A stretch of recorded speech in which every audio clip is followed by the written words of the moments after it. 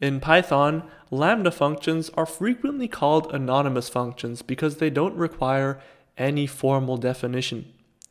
So let's take a look at how we can declare and call lambda functions, how we can use lambda functions with multiple arguments, and what the key properties of these lambda functions are. Starting off with declaring and calling a lambda function. So at the top over here, I have declared and called a regular function. And as you would usually go about doing this, I have got the keyword define and I've defined the function greet and it's called greet regular because it's a regular greeting function. And all it does is it prints the hello world string. And if I want to call this function, all I need to do is I need to write the name of the function followed by the parentheses. And in this case, they're empty because there's no arguments that I need to input. So if I go ahead and execute this, you'll see that to no surprise, it says hello world in the console output. But how would we do that using a lambda function? So that is exactly what I have at the bottom over here. So to declare a lambda function, you could write the name greet lambda as the name. And then over here is where the interesting part starts. This is where we have the lambda function. And in this case, all it does is it prints hello world and it does not take any arguments. So all it does is as soon as you call this lambda function, it will go ahead and print hello world. And you call the lambda function by simply writing greet lambda and then writing the empty um, brackets around here. So it, the function call looks very similar to the one of a regular function.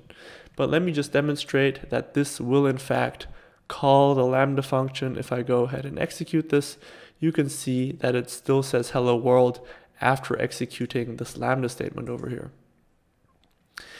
But let's see what happens if we add a couple of arguments to a lambda function. So what could a lambda function with arguments look like?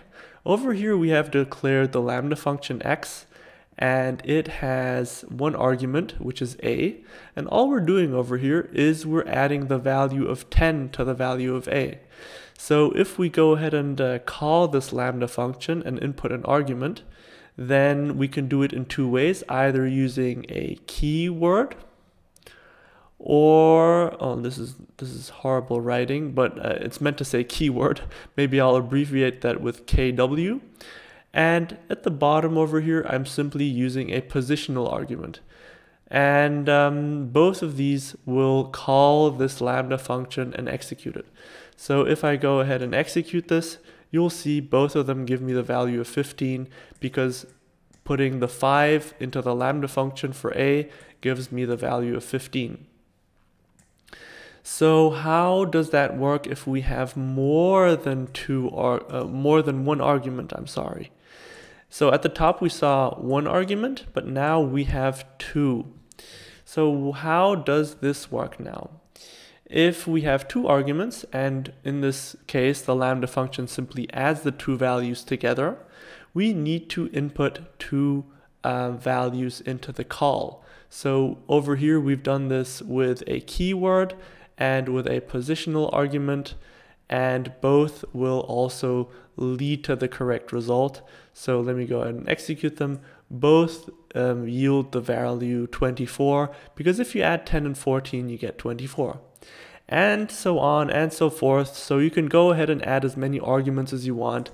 Let's go ahead and do this one more time uh, for the last lambda function over here for lambda function z.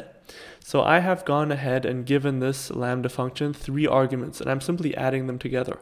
And over here in the function call, I am simply um, inputting the values as keywords. I wouldn't have to do that. I could also leave these away, but let me just go ahead and execute that and you'll see that it outputs 6 because 3 plus 2 plus 1 is 6. Now let us have a look at some of the key properties of lambda functions.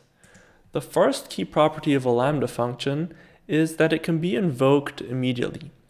When you think of a regular function, you need to remember that you first need to define it formally. For example, over here we have defined the function multiply and it takes two arguments and it returns the product of them. So it multiplies the two arguments together. And you can't invoke this immediately because you always need to call it first. So over here we have a call to the function multiply and we're inputting the numbers 2 and 2, so we're multiplying 2 and 2 together. But with lambda functions, on the other hand, we have the definition, and right after the, the definition, we're passing in the arguments. So in this one line of code, we have defined and invoked the function all at once. So to show you that this works, um, let me go ahead and first off execute the normal function. So over here you can see we're getting the product of 2 and 2, which is 4. And at the bottom, if I execute this lambda function, I'm getting the value 35 because it's multiplying 5 and 7. So bear in mind that with lambda functions, they can be invoked directly uh, right after their definition, which is quite handy. The second key property of lambda functions is that they're frequently used with map, reduce, and filter. With map, reduce, and filter, the first argument is always a function. So over here we have map, filter, and reduce, and the very first argument is always a function. Now, defining this function explicitly is always a bit cumbersome, and that's why we use these anonymous functions very frequently with these three uh, functions, map, filter, and reduce. So let me go and let me go through these individual examples. So over here with map, what I'm doing is that I am taking the square and squaring every number in the numbers list. Then for the filter example, I am filtering only the even numbers. So we are going to retrieve a list with only even numbers. And for the reduce over here, what I'm doing is I am simply returning the sum of all the numbers in the numbers list. So let me go ahead and execute all of this. And as expected, the first um, list over here shows you the squared value of each of the numbers in the numbers list.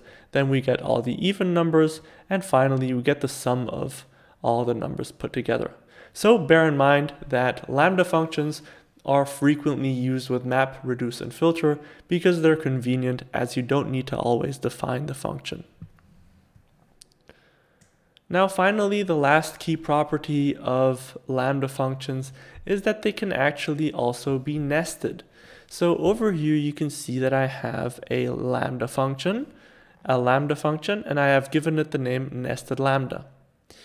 And then I have called the nested lambda function and within the call, I have gone ahead and given it two arguments, which is a number. And in addition to that, I have defined another lambda function within this.